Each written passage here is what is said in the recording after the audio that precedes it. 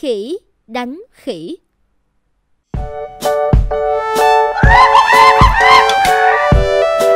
Các ngươi hãy đi tìm một cái hang đá gần đây để tạm trú, Rồi bảo nhau bằng mọi giá Phải giữ được rễ bắp làm của riêng của ta.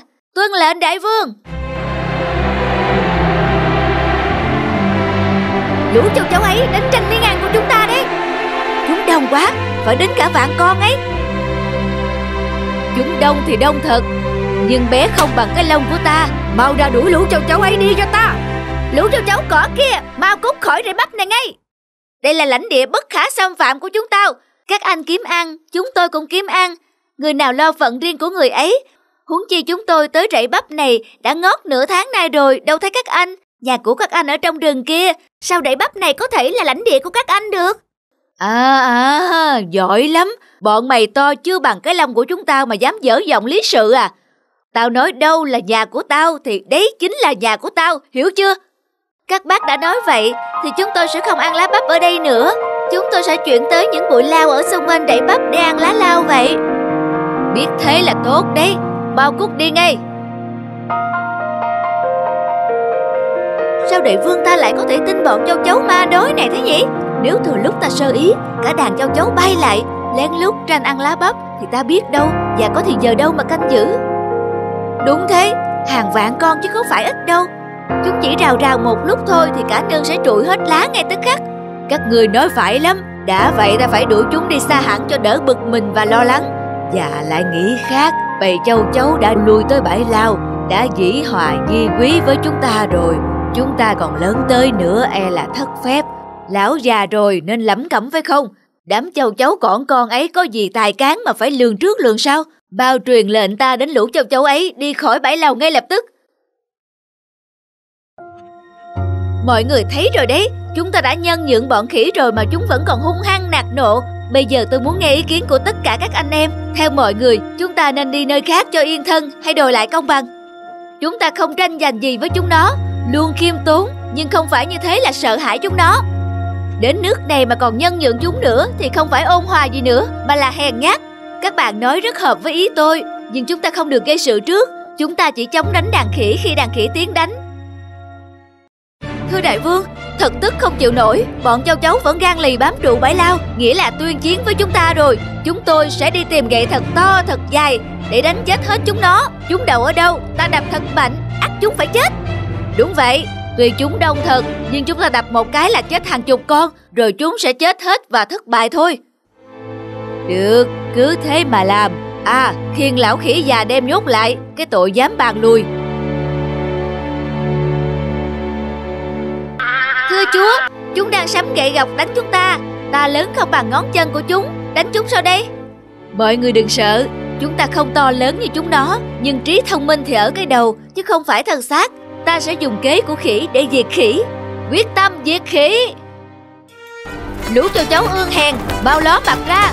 Chúng mày không chịu đi khỏi đây thì phải chịu chết. À à Chúng mày dám đậu vào đầu chúng tao à?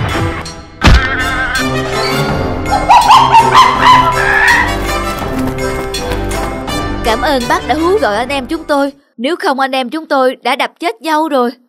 Châu chấu đã tính toán được điểm yếu là xương trán, xương sọ và xương mũi của ta rất mỏng. Chúng đậu lên đó, nhưng khi chúng ta giơ gậy lên chúng bay ngay để chúng ta đập chính vào đầu nhau. Giờ thì đã muộn để hối hận rồi. Còn dùng xéo lắm cũng quằn, chê người hèn mọn biết mình ra sao. Chúng ta gieo gió nên gặp bão rồi.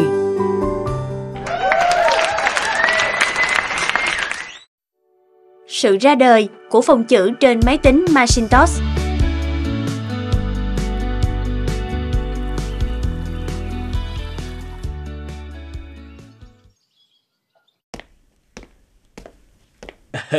Chúc mừng gia đình nha, mẹ tròn con vuông, bé trai kháo khỉnh lắm.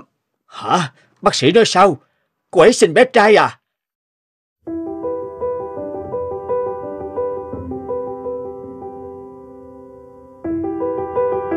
À, chúng tôi thành thật xin lỗi, nhưng chúng tôi chỉ muốn nhận nuôi bé gái, mong cô thông cảm.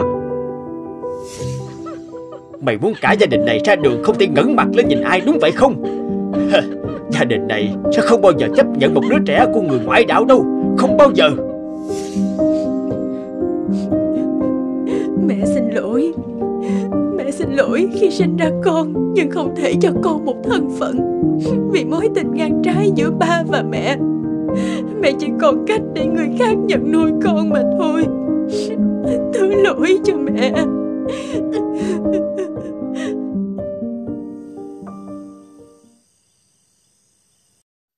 Ờ, Họ muốn mình tới ngay bây giờ sao hả anh? Ừ nhanh lên em Ừ chúng tôi à, Chúng tôi được tổ chức bảo trợ xã hội Giới thiệu tới đây để xin nhận con nuôi Cô... cô... Xin phép, tôi không thể ký vào giấy chuyển quyền khám hộ được vì chị đây chưa tốt nghiệp đại học, trong khi anh nhà vẫn chưa học hết cấp 3. Ờ, trên giấy tờ là vậy, nhưng mà mong cô hãy tin tưởng vợ chồng tôi. Chúng tôi cam đoan sẽ dành tất cả những gì tốt nhất cho cậu bé mà. Tôi muốn con của tôi được nhận nuôi từ những người đã tốt nghiệp đại học. Có như vậy, tương lai của nó mới tốt đẹp được. Còn... Ờ, tôi hiểu nỗi lo của cô Nhưng tôi mong cô hãy hiểu nỗi lòng là cha mẹ của chúng tôi Chúng tôi đã hiếm con 9 năm rồi Trên tất cả Chúng tôi rất khao khát được làm cha mẹ Tôi cam đoan với cô Tôi sẽ cho Steel Jobs được học đại học đàng hoàng 17 năm sau, Ba ơi, mẹ ơi, con đậu đại học rồi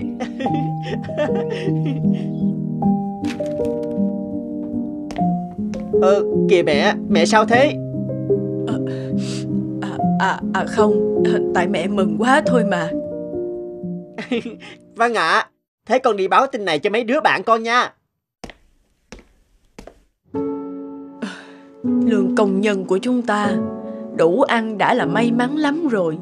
Bây giờ lấy đâu ra tiền để lo cho thằng nhỏ học đại học bây giờ hả mình? Dù thế nào cũng phải lo cho con thôi. Khó khăn lắm con mới có được kết quả này. Hơn nữa em cũng biết Cả làng mình mấy ai đổ đại học danh giá đâu. Thằng nhỏ là niềm tự hào của chúng ta và mọi người. Mình phải vui vì điều đó chứ Đúng vậy không? À, Và hơn hết đó là lời hứa của vợ chồng mình với bà Johnne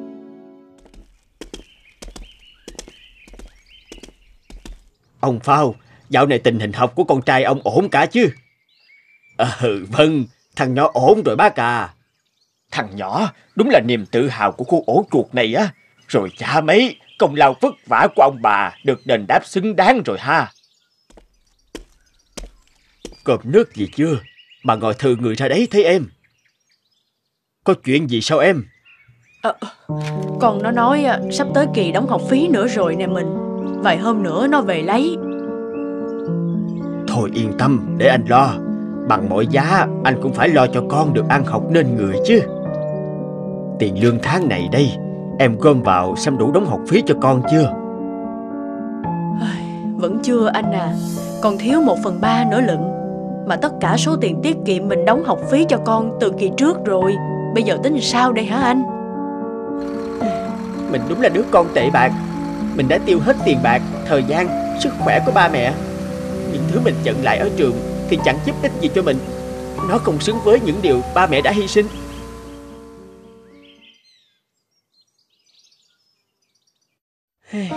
Lại một môn học tẻ nhạt.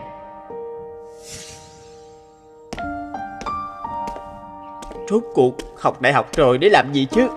Rồi mình sẽ đi đâu Về đâu đây? Khi mà cái việc đơn giản nhất Mình cũng không làm được.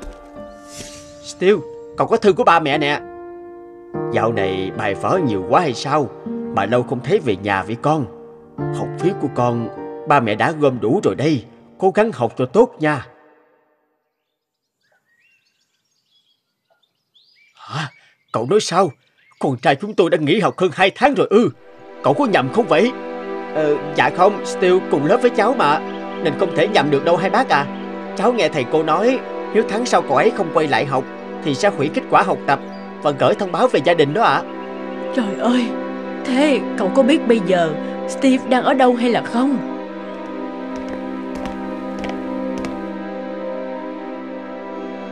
Ờ, ba, mẹ.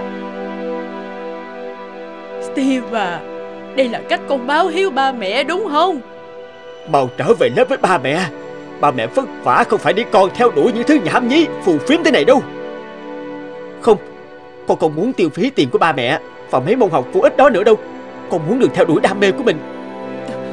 Niềm đam mê của con là mấy thứ vớ vẩn này hay sao? Viết chữ là một bộ môn nghệ thuật Chứ không phải một thứ vớ vẩn như ba mẹ nghĩ đâu.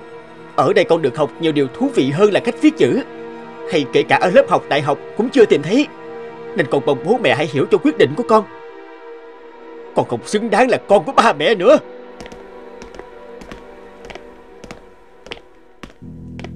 Cậu đừng có cố chấp, ngông nghênh nữa.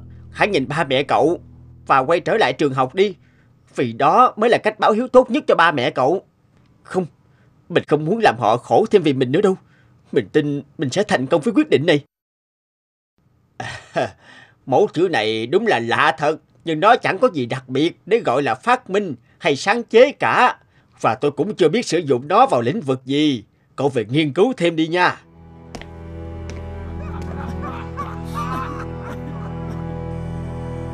Có khi nào quyết định của mình là sai? Hóa ra những thứ hoa lá cành kia Lại chẳng có ý nghĩa thực tế cho cuộc sống của mình sao?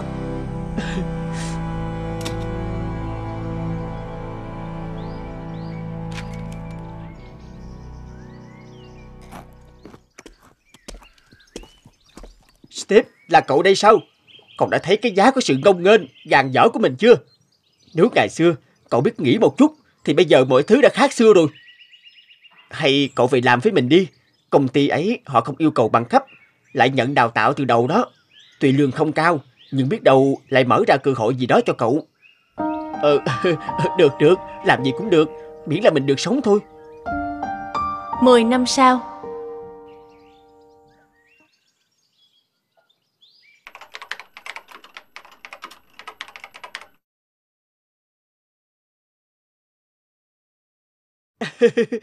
Ra rồi. Thành công rồi. Cuối cùng tôi cũng làm được rồi. Hả? Thật vậy sao? Đúng vậy. Tôi đã thành công trong việc cài đặt mẫu chữ vào phần mềm máy tính. Và máy tính của chúng ta sẽ là nhãn đầu tiên sở hữu bộ chữ nghệ thuật. Đây, cậu nhìn nè. Cuối cùng cậu làm được rồi. Bây giờ, mình đã có thể liên kết với việc làm ngớ ngẩn, Nhảm nhí 10 năm trước của mình rồi. Công bố thiết kế mẫu chữ trên máy tính Mac đầu tiên 10 năm trước, quyết định bỏ học đại học và theo đuổi khóa học viết chữ nghệ thuật. Thực sự rất khó khăn với tôi. Đây là môn học mang tính nghệ thuật và đẹp một cách tinh vi mà khoa học không thể làm được. Nhưng lúc đó, ba mẹ hay mọi người, và kể cả tôi, đều thấy đó là việc nhảm nhí. Nhưng tôi không bỏ học và không tham gia vào khóa học này thì Mac hay tất cả các máy tính cá nhân bây giờ có thể chẳng có được mẫu chữ này đâu.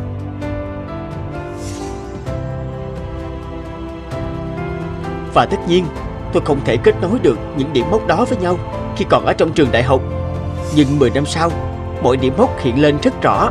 Vì vậy, chúng ta hãy tin rằng bằng một cách nào đó, mỗi kết thúc có thể là những điểm mốc nối kết với nhau trong tương lai. Và thế nên, học hỏi nhiều sẽ không bao giờ lãng phí. con của ba, con đã chứng minh được. Hóa ra đại học không phải con đường duy nhất dẫn tới thành công Ba mẹ tự hào về con.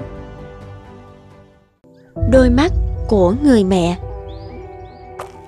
Mẹ à Tiền hôm qua cô Lan hàng xóm biếu mẹ Mẹ để ở đâu rồi? Đưa đây cho con. Mẹ thì tiêu gì đến tiền? Ờ Cô Lan ờ, chỉ sang chơi Chứ đâu có cho mẹ tiền đâu. Hey, Lần nào sang mà cô ấy chẳng cho Mẹ đừng có chối cãi nữa. Giấu ở đâu thì con cũng sẽ tìm ra được Dừng lại, dừng lại đi mà Không có tiền mà. Đúng là không có tiền thật. Sao chứ? Không có tiền sao? Không có đồng nào hết á Vô dụng thật. Vậy thì cứ để cho bà ấy đói khát một tuần đi. Nếu ốm ra đấy sẽ tự khắc có người cho tiền ngay. Thôi xuống dưới nhà cấp bị cấp nón đi. Đi sớm May ra còn xin được cái gì bỏ vào bụng. Ừ, Đây Tôi xuống lấy ngay đây. Này lên xin ở khu chợ lớn ấy nhiều người đi qua đi lại lắm. Thật tội nghiệp cho bà lão mù loà. Người con trai và con dâu mỗi ngày một quá đáng. Chúng đành lòng bỏ đói bà, Không cho bà ăn uống. Đói khát, bà lão đành tự mình lọ mọ tìm rau ngay cả khi trời đang đổ mưa lớn.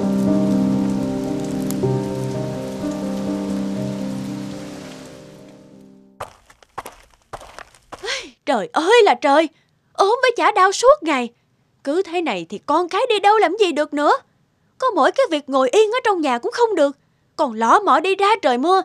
Để bây giờ hoành hoẹ con cái nữa vậy. Chẳng lẽ ngày nào cũng lôi bà đi ăn xin cùng chúng tôi luôn Cho bà biết thế nào là khổ sở Con ơi Mẹ sốt cao quá Con ra Con ra thầy Lan Đầu xóm cắt giúp mẹ mấy thân thuốc đi. Lại dở trò vòi vĩnh đây mà. Cứ kệ bà ấy đi Đi ăn xin thôi. Không thì chết đói cả lũ với nhau bây giờ. Con ơi Con ơi Đừng đi mà.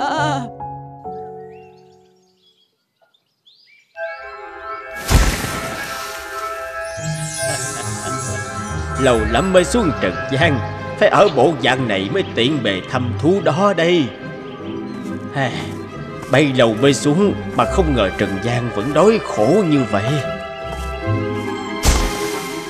Dù chỉ là một con cá nhỏ Nhưng chắc cũng giúp ích được phần nào cho một người nào đó Ừ, ông ơi, ông làm ơn ban phước cho con đi. Nhà con đã đói mấy ngày hôm nay rồi.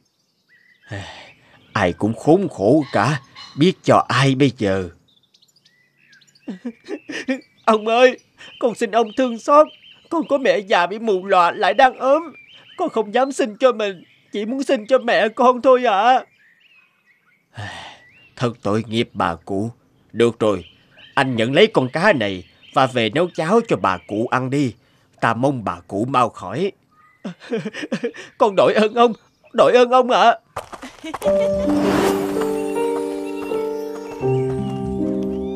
Chà chà, hôm nay hên quá trời. Con cá này nhà mình được một bữa no nê. Lâu lắm rồi không được ăn cá.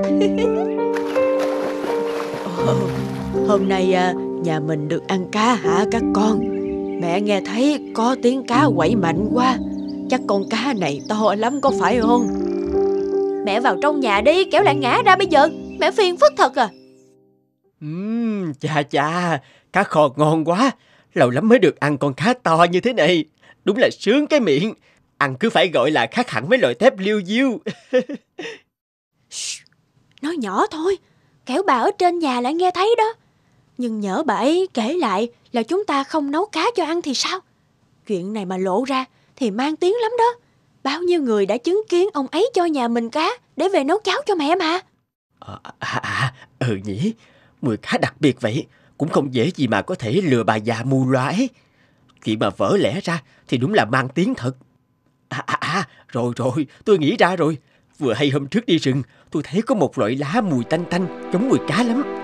Để mai tôi lên đúng chỗ ấy tôi tìm lại Về nấu cháo giả làm cháo cá cho bà ăn ừ, à, Nhưng mà tôi để ý thấy loại cây ấy không con vật nào dám ăn Hình như có độc tố Bà lão ăn nhỏ có sao thì Nè Thế thì càng tốt chứ sao Ăn vào bà ấy ốm nặng hơn Chúng ta càng đỡ nặng nợ Thì ra họ là những đứa con độc ác Này mình ơi đã đúng ước nguyện nha. Tôi tìm cả buổi. May mà tìm được loài cây có mùi giống y hệt như cá rồi đấy.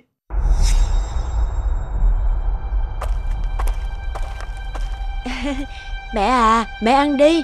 Cháu cá hôm trước chúng con đi xin được về cho mẹ đấy. Ôi trời ơi, chúng nỡ cho bà lão ăn phải cháo rau độc ư. Bà lão lại đang sốt cao quá.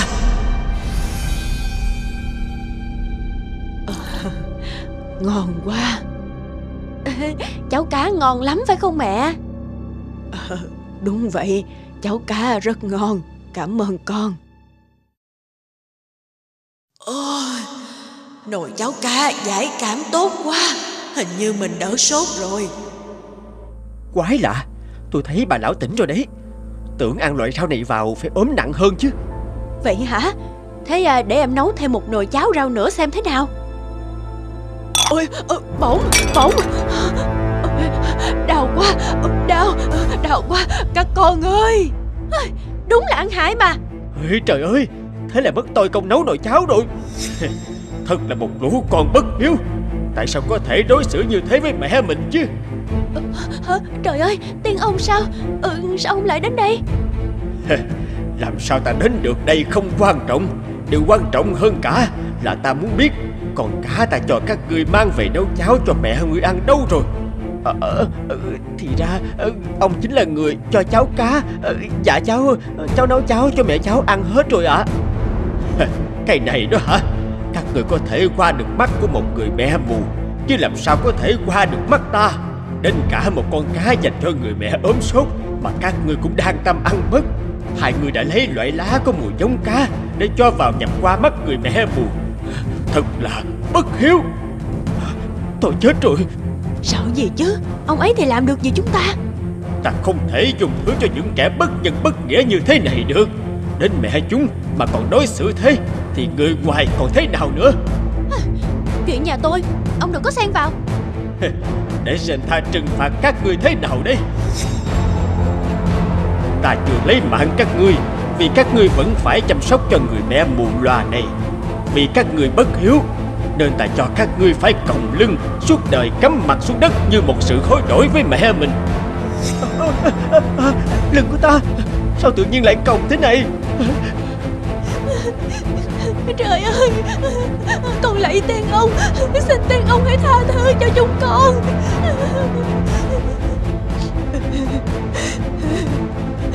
Tôi xin tiên ông Xin ông đừng phạt các con của tôi con dạy thì cái mang. Các cháu có sai Thì người mẹ tôi đây cũng có phần trách nhiệm Vì nuông chiều chúng quá. Thân già cả Không giúp gì được Mà còn làm phiền cho chúng. Bà còn xin cho chúng nó ư. Chúng phải bị trừng phạt vì bất hiếu. Bà có biết rằng, Nếu không có ta làm phép biến loại cây giống mùi cá trong bát cháo của bà, Từ loại cây độc thành loại cây giải cảm, Hạ sốt thì có lẽ bà đã mất mạng rồi không? Thật vậy sao? Các con Các con đành lòng đối với ta như vậy à? Con lạy tiên ông con lạy chúng ông. con sai rồi con sai rồi. chúng con không bao giờ dám như vậy, như vậy nữa đâu, xin, xin ông hãy tha cho chúng con, à. con. Các người nên nhớ ở đời này không có gì bao la bằng công lao của cha mẹ mình. Bất cứ một sự hỗn hào nào với cha mẹ của mình đều sẽ phải trả giá thôi. Từ đây các ngươi liệu chăm sóc mẹ cho tốt vào. Nếu không ta sẽ còn quay lại đây và trừng phạt nặng hơn thế này.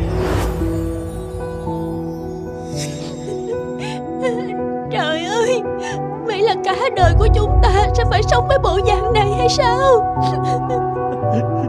Mẹ ơi Chúng con sai rồi. Chúng con đáng bị trừng phạt.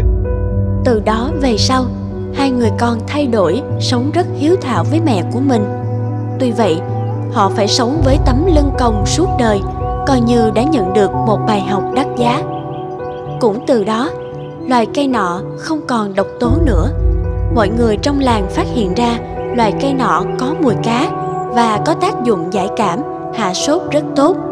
Họ mang về và trồng ngay trong nhà mình và gọi tên là rau diếp cá.